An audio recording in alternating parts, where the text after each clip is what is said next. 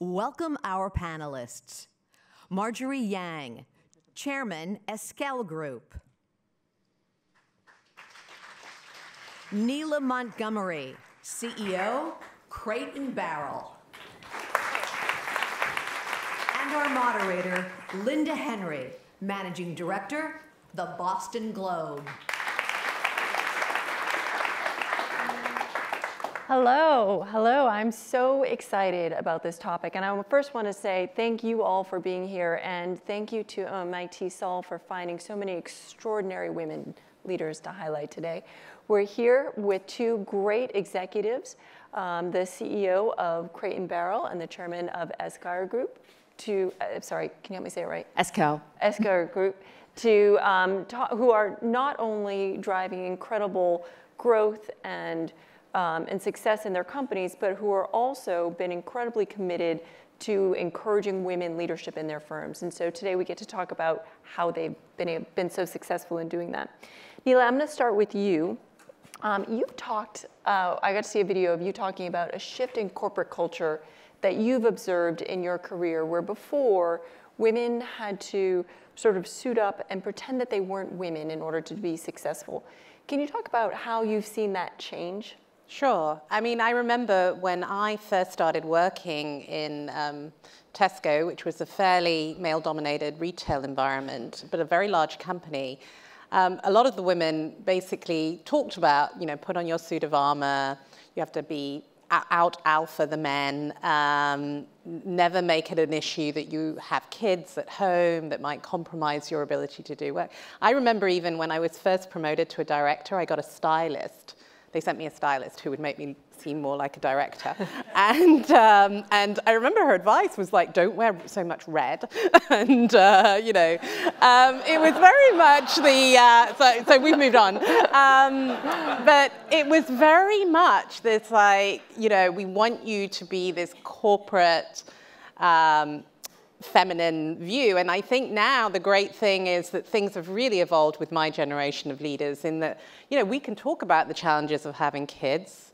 We can wear red, we can wear sequins if we want. Um, we can bring our femininity to work and we don't Why? really... What, what, what has changed culturally that women are allowed to bring themselves? Is it, is it a tone set by leaders like you that allow women to do that? Yeah, I think that it has definitely helped. I think that a lot of the women who have progressed through now do have children and are talking about the more feminine model of leadership and living it. And I think obviously that's the best way, the role modeling. But I also think a lot of the male attitudes have changed too. I mean, uh, when I was in Germany, it was just as acceptable for a man to say, oh, I'm, I can't do that meeting because I've got to be at my kid's performance. Um, and, and obviously that will, be, that will help too in terms of evolving corporate cultures to be less stereotypical, just full stop. So how do we continue opening up the, this conversation? So you've said that role modeling, men doing it as well. What else can we do to continue to make uh, workplaces a place where women can bring their whole selves? Yeah, I mean, I hope that especially the younger generation of women will really think about uh, choosing an employer that allows that authenticity, because there's a lot of kind of corporate speak about we want you to bring your best self to work. And, but I think what's critical is that when women are making those career choices, they really kind of investigate companies from a data perspective, you know, does the data match the, the rhetoric? Are they really committed to letting me be my best self? And, and um, I think that will change a lot. There's such a war for talent. You have the power now to really drive cultures to change. So employees have the power now to also look for it, what, they what they need. Um, Marjorie, you began leading the Esquel Business Group after, since 1995, you were chairman, right? Yes. Which is remarkable. And your sister, your daughter, and your niece all hold roles there. What, what about your family's upbringing encouraged such strong representation of women in business? Well, first of all, I'm really glad that you didn't ask me about the how to dress question because I can tell you, well-endowed woman is never going to make it as a good-looking man. never going to fit in. so I'm glad you gave her that question. Okay, um, how do I how do we accommodate so many women from well, the same family? Encourage, what, no, what, what in your family encourage women to really step forward um, and take these leadership roles? First, by having daughters, um, only daughters.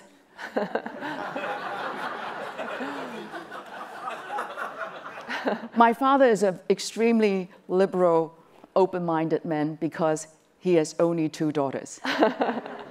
and then I have a one daughter, only one daughter, and my sister had three kids, but two daughters, and then finally a son.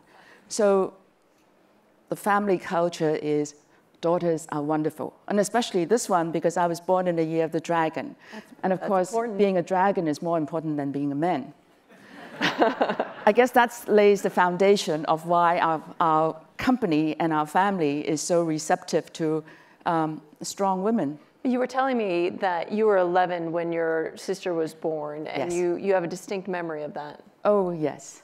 So um, my sister is 11 years younger than me, and uh, I can remember hearing my aunt, who was in the hospital, calling my father and said, um, of course, I didn't hear her on the other side, but I'm so sorry, it's another girl. And at 11, you understand, and you say, there's something wrong with that statement. So, you know, being a Chinese, from a Chinese, a good traditional Chinese family, um, I felt maybe at 11 that I'm going to show them. It's wonderful to have daughters.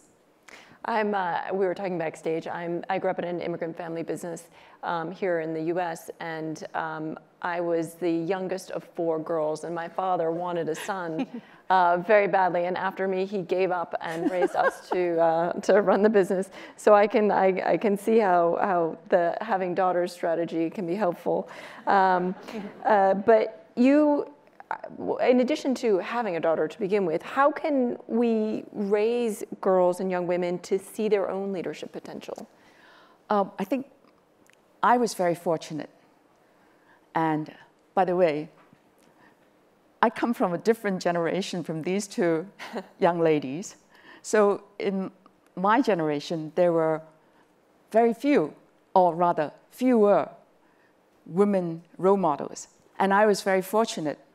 Apart from having a very liberal father, I also had quite a few very strong um, women uh, role models, I, including the headmistress of the primary school that I went to.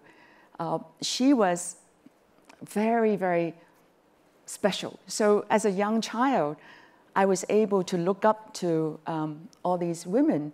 And so it, it just almost became very casual to see women in leadership roles. So for you, role models was a really important thing. Seeing women doing in leadership positions and and uh, being able to emulate women. Yes, you get used to it important and you feel that just this is very natural. Um, Neela, you mentioned that you worked at Tesco. You were there for 12 years, and you did something really remarkable. You left a company you were successful in for 12 years for a new job in a new role in a new country. What role has risk taking played in your career? Yeah, I mean, that's uh, interesting because I have always thought of myself as a risk taker and I never imagined I would stay with any company for 12 years. So that was probably more remarkable in itself. But I mean, I went to Germany to work for a family owned, all male, all German, uh, average age 20 years older than me board. and I joined that board. And one thing that was incredibly helpful was kind of naivety. I didn't quite understand how remarkable that was because I didn't really quite know enough about German business culture. And I do think there's something about risk taking, which is if you examine every single option or outcome from every different perspective, you will eventually persuade yourself that you shouldn't do it because typically risks are, risks are like that. So, so there is something about the like the unexamined life as well as the examined life and thinking about you know, do I really need to imagine every possibility and every angle, or is there a just a just jump kind of mentality? And I just jumped, And it could have been a horrible failure. And if, if so, I would have had to deal with it and I'd have recovered and, you know, I'd still have the success that I'd had in my past. So I think what's very important, especially as you get more senior in your career, is recognizing that you have to keep jumping. Mm. That it isn't like you suddenly get here and it's all kind of rosy at the top. I mean, you know, there's, there's all kinds of other risks you have to keep continuing to take. And what you have to recognize is that, you know, failure is going to happen along the way, but it isn't going to kill you. And you'll, you'll pick yourself up, and the people who love you will still love you, and um, you're still, you know, I'm still Neela, if I, even if I'm not the CEO of Crate and Barrel. The fact that you still know who you are, I think, is a really important message. But how do we encourage more women to take career risks? Yeah, I think about this a lot, and I talk, I talk, on, I speak on this subject a lot because I do feel that it's something uh, it, that's taught at quite an early age. I think the school system, for example, is very important in that, in terms of encouraging women to fail earlier in life, I think would be very helpful because I think there is something about the school system that doesn't encourage it as much, and I can't quite put my finger on why. But I do think as a parent as well, I mean, I speak to all of you who have daughters, I don't, um, really pushing your daughters not to think every possible outcome through and, and encouraging them to jump mm. is something I think that all of us can do. I mean, from a corporate perspective, I certainly was pushed by mentors, by uh, sponsors, both male and female, and I think that can continue to happen. But a lot of this, I think, happens earlier. Mm. Um, Marjorie, you, she mentioned school, and you had a very good experience going to an all-girls school. Yes, at one stage, I started off in Hong Kong as a co-ed school, and then I came to the U.S. and I was in an um, all-girls school for about three years, and uh, before I came to MIT, and I thought that was a very unique opportunity. Uh, really allowed me to uh, feel uh, very uh, feel my developing my full potential, and I I think that uh, it's a shame that we don't have more um, girls' schools as a, as a choice, mm-hmm. uh, because that really allowed me to see a side of myself uh, which I didn't have that opportunity when I was at a co-ed school. Mm-hmm. I, I want to talk about, stay on you for one more minute, because you have had incredible board experience, and you've had some board experience as well, but you, you have gotten in the habit of saying yes to being on boards. And I want to talk about um, why and what you learned and, and why that matters so much. Oh, oh, what I was trying to explain it was that I very now I even though if I don't know, well, I'll give you the exact example so that you don't think that I'm crazy. I was asked to join the um, advisory of the Seoul Mayors International Advisory by a friend and I said, I don't really know very much about Seoul and Korea. He said, but you will be the first woman. I said, okay, I'm on. and uh, I, and I, because I have a daughter, and as I got get older, I feel the need to take on all opportunities to prove that women can be uh, value adding at a board. Uh, okay, I was 45 when I joined the Gillette board. And, um, and that was here in Boston. So and it was here in Boston. And it was Warren Buffett who was very kind to me. He took me to the first uh, shareholders meeting, etc. And I sat next to him one day and I said, you know, I really don't know how I can add value to the board, but today I think I have an opportunity. I want to share with the board that it, most Asian women don't shave their legs. And therefore, the numbers projected for the Asian market could be wrong.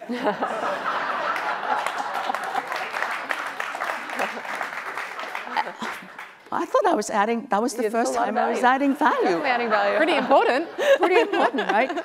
Um, so I, I grasp at these opportunities to be the first woman, and then I try very hard to find a way to show that we can add value because we see things differently. Um, and being different is value add uh, rather than you're defective.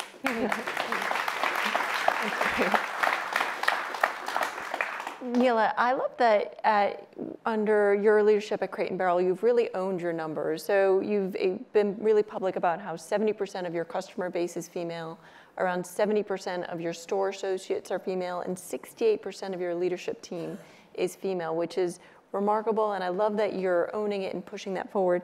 How, how does this diversity drive the business outcomes for Crate Barrel? Well, it's funny, it very much um, builds on what Marjorie just said. I mean, companies these days are obsessed with customer focus, customer centricity, customer focus. And it's so much easier to be customer focused when your leadership team reflects and your associate base reflects your customers. So our customer base is 70% female, and that exactly is mirrored in our in our leadership and our associate profile. And it's a massive advantage because, you know, when you're talking about the customer, it's not some distant research concept or if I have to hear another man talk about how his wife shops, I mean, that's just, you know, it's like, um, and, and that happens a lot on boards, by the way, uh, still today. Uh, we just don't have those kind of, we just don't have that distance from the customer, and that helps enormously just in our discussions and our decision making. But I think also what's very, I mean, we rarely talk about diversity, if I'm honest, other than, you know, racial or economic uh, sometimes. Um, it almost becomes, because it is the norm and we do reflect um, our customer base, we end up, I end up talking about it more externally than I do internally, which is interesting. Um, and I, I hope that's where many corporations will be over time. And so there's a contrast, for example, between um, a leadership team that's 70% female talking about you know meeting their customers' needs. What you're talking is, is what you're saying is that you have a, a closer understanding. And there's a contrast, for example, to uh, Victoria's Secret, which is run by um, a male executive talking about redriving to focus on their customers. That's um, right. And that's an interesting example where that was very much driven by a male's view of what sexy was, but it's the women who need to buy the underwear as well or the lingerie. So, I mean, I think that's a danger you can fall into if you if you're not close enough to your customer and especially given the disruption of tech these days, you just can't afford that distance from your customer anymore. So how can other organizations or sectors adopt this model? You don't have to go to that exact mirroring no. of your customers as, as you've done so effectively, but what, what, can, what can we learn from Crate well, Barrel? I do think that, I mean, Marjorie's example is a good one, which is, so for example, if you're trying to approach the Asian market and you don't have people around the table at a board level, at a team level, at an advisory level who understand that consumer or that market, that's a mistake, and I would hope that most companies are trying to do that. I find it interesting with smaller companies and startups especially, it's hard to achieve that because you haven't yet got the scale. So what I would really advise is find a broad um, spectrum of, of, advisors who can help you on that journey um, and really figure out kind of what is going to challenge my own assumptions here and bring me closer to either the customer or how I'm building this business. Um, Marjorie, you've been doing, not only have you been tackling this in corporate boards and, and various boards around the world, but within your own company, you've been working to really tackle gender inequality and, and other forms. Can you tell some of what you've been doing at your own company? Well, our industry, I mean, the textile and apparel industry, and uh, historically, there have been many women leaders in that industry, uh, particularly in Hong Kong. So that's an advantage to start off with. But then, as we become a more international, um, we go to different parts of the world where it is not that obvious to have allow for women leadership. This is where I think that a company like ours, particularly being a um, uh, at one stage, our company were so dominated by women leaders, I was afraid that we were going to have a case where some men is going to go to Equal Opportunity Commission and complain about us. Yeah, I- so uh, what I've found is that uh, with that, because we have a very um, predominantly uh, a lot of strong women, if you can imagine, uh, to create an environment where the younger women are getting more and more into details and then um, looking at how to drive gender equality in countries that are not used to having the same kind of uh, opportunity for women. Uh, sorry for. Well, your daughter actually did a study as well. Yes, uh, I didn't expect it, but because she's not in HR, she runs a division that um, have our own brands. She looked at the numbers on pay of manufacturing, uh, the factory workers in the different countries. And she noticed that in Mauritius, there is a, uh, the women are making less. But then she didn't jump to conclusion. She then said, I am going to go and look at the numbers further to see why. Because, and to me, that's very encouraging because rather than just jumping into conclusion, if, or if I was doing it at my level, I'd probably say, management of Mauritius, you have a gender bias. Here is a young woman who then will take the time to look at the numbers in more detail and not accuse the management, uh, and in this case, they are men, to accuse them of having gender bias. And I think that's very important to be um, not scare men so that they then artificially do something to raise the income of women. And so, what did your daughter find? What Well- the reason? she's suspecting, and this is much very difficult to um, determine, that it is sometimes by choice. So there are certain lifestyle decisions that women would make differently, and they may not put um, because they may choose to work less uh, and have a um, maybe they have family obligations, uh, but it's uncertain exactly what is. But the good news is the fact that she has an interest, Yep. and there are a group of young women in the company who takes this kind of interest and who will look in depth to make sure that something is being done, but not rush into just accusing men or women in leadership positions of having gender bias.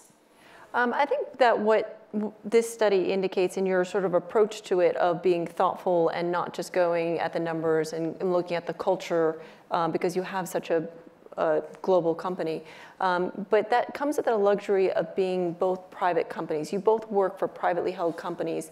Um, Neela, what are your thoughts on, on what that difference is?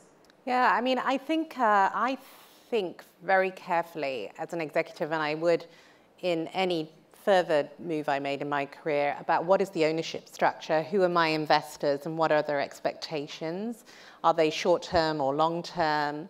Are they genuinely committed to diversity? And I think it's it's interesting. I don't know that I spent enough time learning about that early in my career. Because earlier in my career, I was like, I'm just going to learn to be a good leader and a good functional person and, you know, climb the ladder and eventually someone will recognize me and that'll work.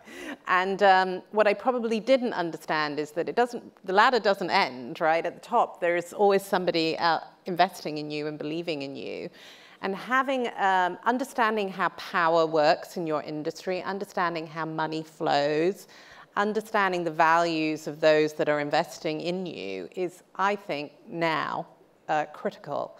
And if I could talk to my younger self, it's something I would definitely say to myself, like, don't be so naive, go and learn about that because it really matters. What's interesting about that is that you would almost think it would be the opposite, that the big public companies have the, you know, the requirements of a certain number of women on their boards or whatnot. But, you know, what you're, what you're talking about as well is that it's, it's not that the requirements, it's an ethos.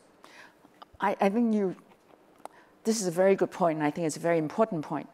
Because there are more women now in positions of um, power, should we say, that we have to be very careful and uh, not just use these uh, statistics. You have to have 30% Yep. representation on a public company board. Uh, all that, I think we should leave, we should move on. And for us who we are very um, fortunate to have the opportunity to lead companies to then um, go into more detail and not just um, very take the easy way out and just look at statistics to promote women or gender equality. Uh, so I think it's up to us to now work uh, harder, but there's a lot more work to be done. It's just that we've gone over the first hurdle of just having some st- meeting some statistics, and that's what public companies tend to do. But private companies, we have an opportunity to go a lot deeper. Great.